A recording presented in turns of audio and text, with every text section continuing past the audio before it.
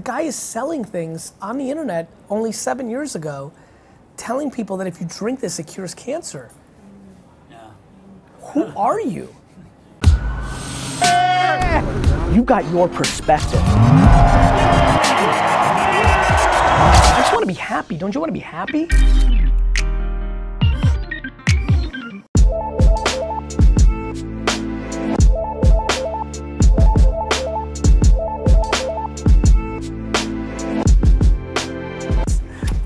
That's it. We won. See ya. All right. Bye.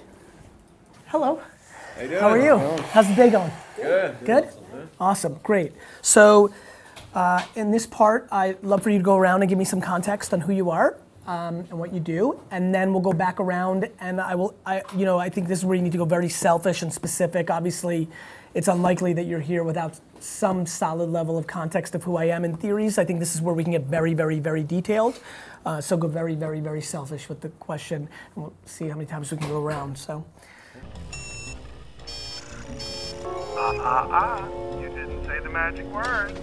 Please! God damn it!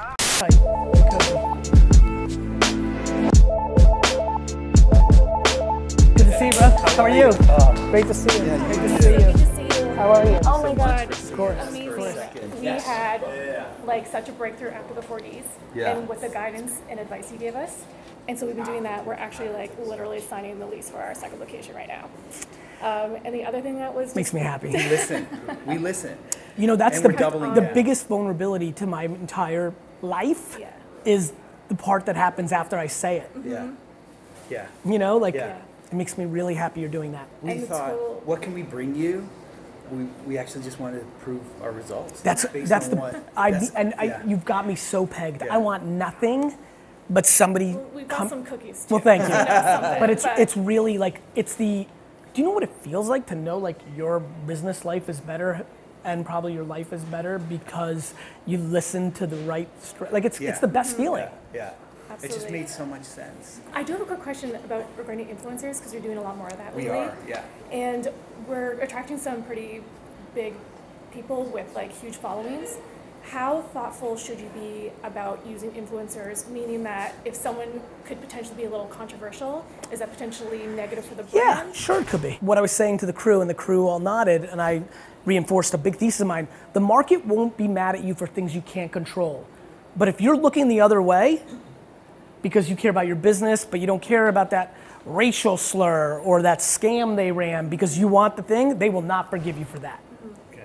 So it depends on what you decide is controversial. Okay. Now, if you're if you're controversial because his his training tactic is not like, and you believe in it, that's different. Do you see where I'm Yeah, yeah. going? Mm-hmm. So, if is it business controversial or is it like cult, like I'm controversial in marketing?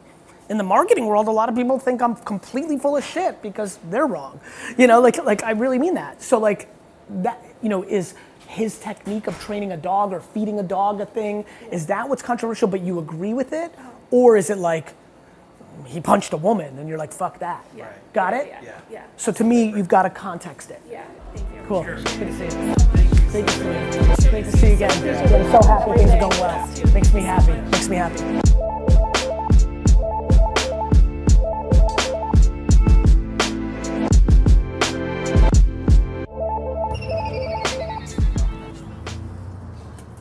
to meet gary you. Gary, Mike. mike how are Nice you to meet you. monica Monica, so nice to meet you What's going on, Trevor? Trevor, so nice to meet you. Just give me a few seconds. Sure. Thank you guys. Today was a good day to just get like some meetings in, just to get back on the field. So what were you doing in LA then? Were you Well, we have to? a we have a big office there. Sure. So- So for the just other normal normal VaynerMedia stuff. We had a 4Ds in LA. What can I answer? What can I answer? Let's let's bounce around. We got plenty of time.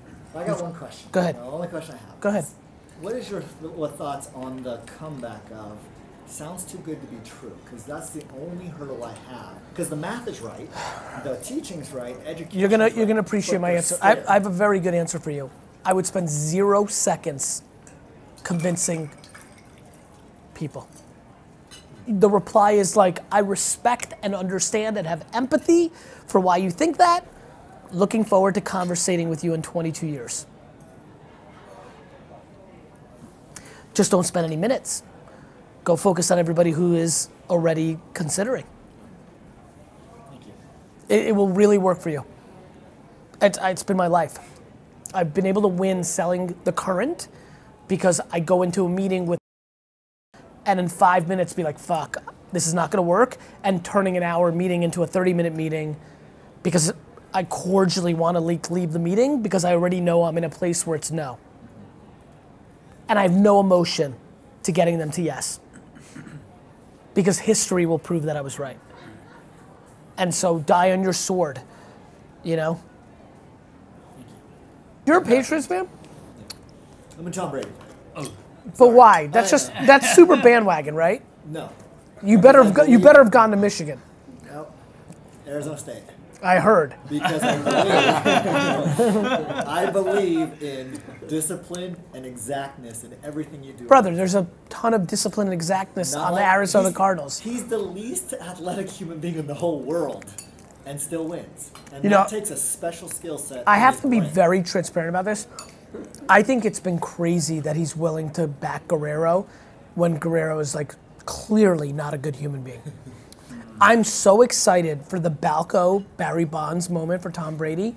I think Tom, I, I, I genuinely, this is like even on film, I genuinely think Tom's a good dude. I think he's made a humongous vulnerability to his legacy in associating so deeply with a guy who is clearly not good Cure cancer. Drink this water. crazy. I'm like fascinated. I'm like watching like in a world where like I said earlier, where I see a lot of kinships with me and him. I'm like, why in a world like back to like when you have when you don't I'm I'm I'm dying to know how the story plays out because nothing makes sense with his association with that guy. He is in business with a guy who is like back to internet marketing and like all the shit I care about, like don't be that guy. That's what that guy is.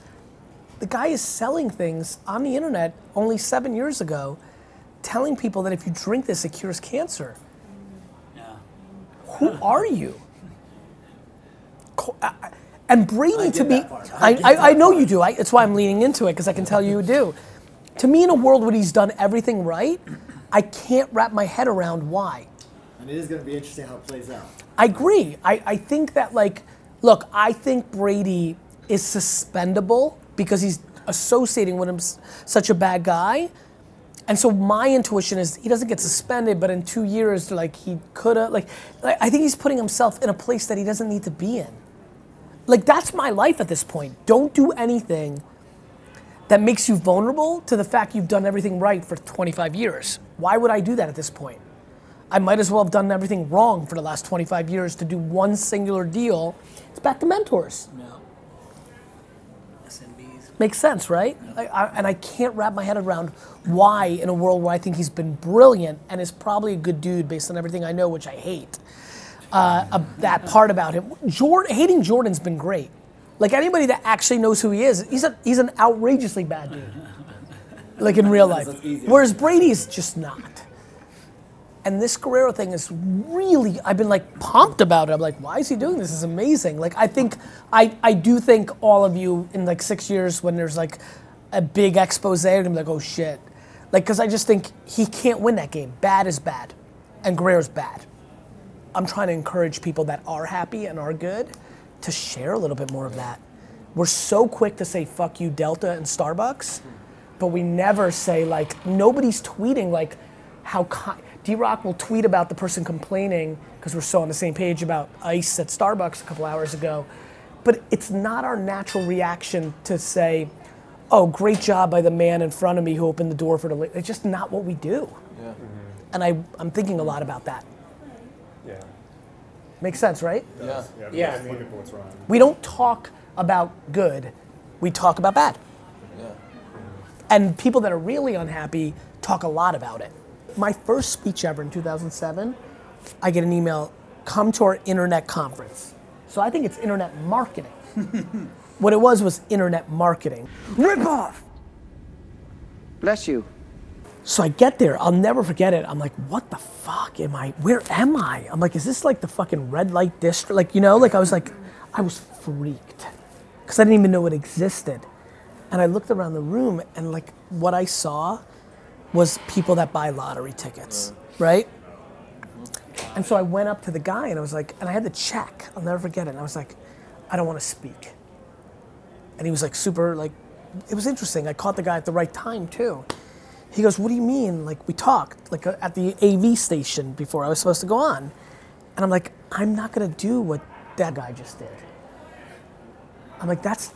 Uh, do you understand that if I take the stage right now, I'm gonna spend an hour shitting on everybody who just spoke and breaking this whole thing, and I don't want to be disrespectful to you. I appreciate you flying me out here. And you pay me a lot of money. I want to give you back the money because I'm not gonna speak. I need to leave, and the guy goes, "Do it."